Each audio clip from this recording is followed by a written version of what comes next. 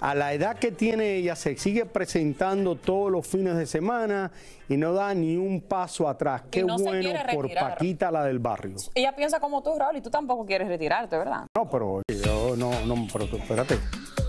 O sea, en el sentido Un de que tú no piensas en momentico. Yo retirarte porque pensé, tú amas yo lo que pensé haces. que por todo lo que yo había ayudado a Clarisa, pero ahora ella me está diciendo que yo tengo la misma edad que Paquita, la del barrio.